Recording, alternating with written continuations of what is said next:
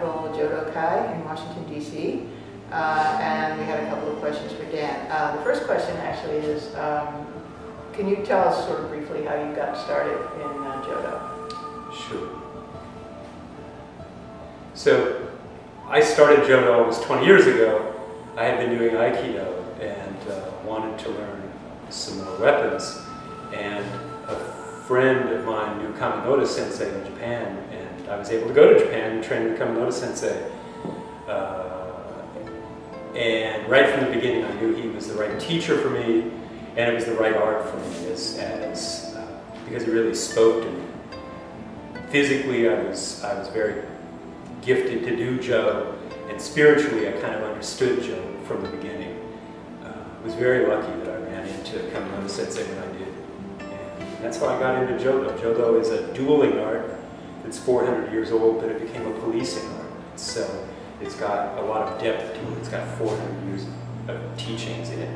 And so it's very interesting as well as being fun. It's very uh, intellectually stimulating to understand all the lessons and all the logic that are in the, the art. So uh, This is a joke. Yes, that is a Jo. Um, and as everybody can see, it's just it's, it's a stick, and it's made out of white oak, and it's approximately how long? Uh, 49 inches, just under 50. Okay. American. Yeah. So, um, can you describe a little bit what your teaching experience is like in the United States? Kaminoda Sensei has given me license to teach Kusari Gamajutsu, which is a sickling chain art, and also a license to teach Jodo.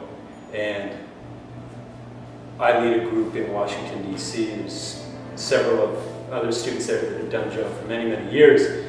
And we have about 20 students who are active. And uh, it's a strong group. We practice every Saturday for two and a half hours and every Tuesday for two hours. But everyone's expected to practice every day. Jo has so many detailed movements that have to be right that if you don't practice a little bit every day, you start to lose your skills. And so everyone understands that what they learn on Saturday, they have to practice on Sunday, Monday, and Tuesday.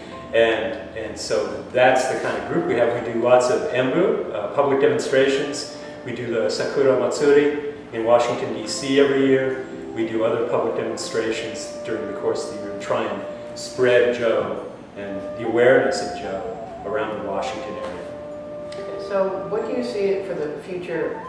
Uh, I, I, you probably, I don't think you can talk for the future of the art in Japan particularly, but in the United States, when you're trying to raise the profile of, of Jodo. So, uh, how do you think that's going to work out? Well, Jo's a hard art. It takes a lot of commitment to really get good at it. And so it's not for everyone.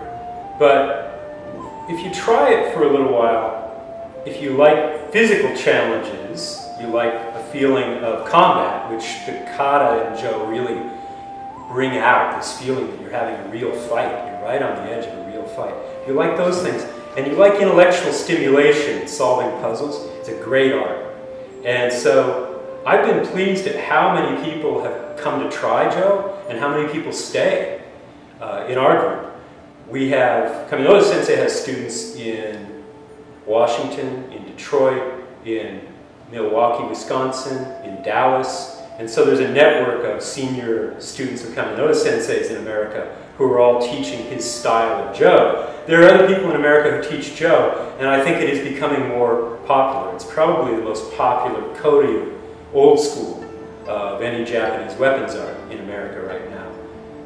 And so there are different lines of Jo. You can trace them back to master teachers in Japan, and everyone follows their own teacher. But being Americans, I think the attitude is you do something that's so rare, even though you do it differently, it's okay. It's just neat that someone else is doing this art. So I see people who do another line of Jo, a different teacher.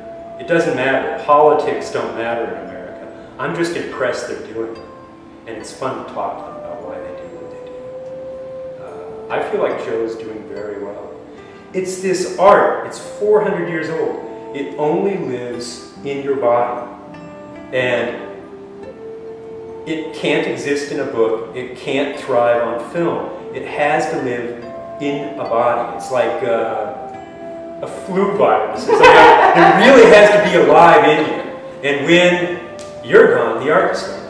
And so your teacher, who learned it from his teacher, who learned it from his teacher, this line that goes all the way back to the founder, Muso Gonnosuke, that gift when Kaminoda Sensei gives it to you, you say, well, I have to keep this alive as long as I can, and I have to spread it as widely as I can. It's an obligation to the art, to the founder, to my own teacher. I feel like that's going on pretty well in America. I feel like that's succeeding. Cool. Okay, well, thank you very much. Thank you. Yeah, we should do it more often. Yes, absolutely, I think so. Okay, Thanks. thanks. Thank you.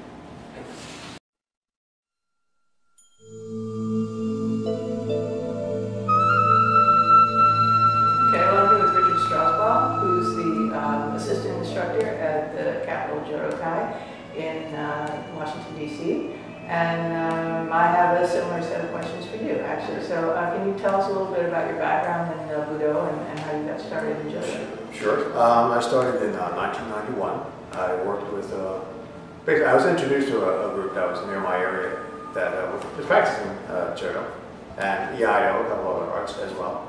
And from uh, first sight of it, I knew it was something I wanted to do. I had no experience in martial arts before, but I was just captivated by what I saw going on.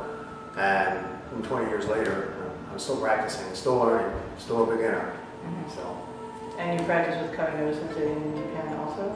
I've had uh, I've had uh, the great fortune to be able to practice with Kaminoda Sensei when he's come here for gasshukus to the United States. I think two, at least, no, probably 3 Mhm. So, and that's, that's tremendously helpful.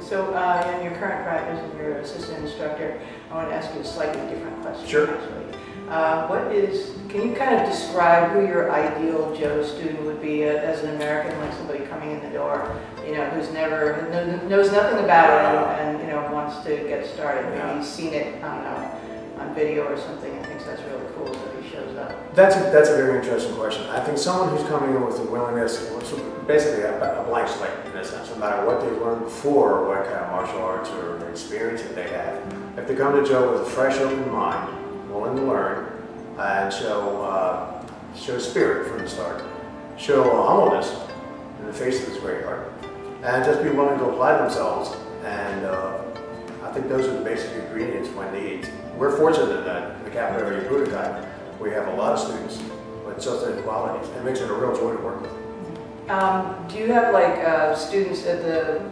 Jodokai who like do multiple arts, like they do, maybe they do Jodo, but they also do Iai, or they also do Oh. Kendo? Oh, sure. Yeah. Oh. And one thing seems to lead them to another, or, um, and I think in best circumstances, they become complementary. So the techniques they want to learn in one art, they can apply in Jodo, and, and vice versa. mhm. Um, that's that's probably the I, I think the best circumstances. Certain, sometimes you have students come in that have so many a smattering of so many different arts that it's difficult for them to settle on and, and really concentrate on one set of techniques.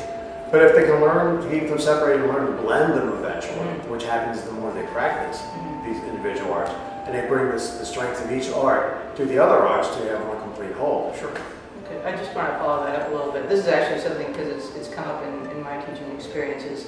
Um, like New York is kind of like a big candy bowl full of different arts. I mean, some of them are more authentic than others, Mhm. some of them are more traditional than others. Um, what would you recommend for a student who's maybe been in Jodo for uh, six months or a year, and then like they see, I don't know, Kudo or Naginata, and they, they think, you know, I mean, Mhm. should somebody stay with one art for a certain length of time before they branch out to something else? Or should they, you know, kind of dip Yeah. around into different things? I, I, I think it would be best if they get a solid grounding, and it's up to the individual to determine how long it takes them to stay with that one art to have that solid basis. And then, yeah, from there, you know, it's, it's, it's fine to be able to branch out because I, I think then the, the new art will complement, but the two arts will complement each other. Uh, so then, um, what do you see as uh, the future for yourself in, in? Well, Uh, to keep practicing, keep learning until I can't move my body anymore. That's about it. I've never gotten. I used to have. I took. I have to admit, I took a hiatus for maybe two or three years. And certain people, I guess, they have dreams of, of money or fame. I would dream about doing Budo, hmm. And then Dan con- contacted me one day and said, hey, you want to get together, have a couple of beers, invited me to dojo, and I've been back ever since. I'm like fated to do dojo till I die. So, And that's Dan's marketing prowess. Take people out and buy them beers and. and- Exactly. Until they agree to come to the. Exactly, Yeah, okay. exactly. Soften them up. Yeah. Okay, well, thanks very much. Thank you.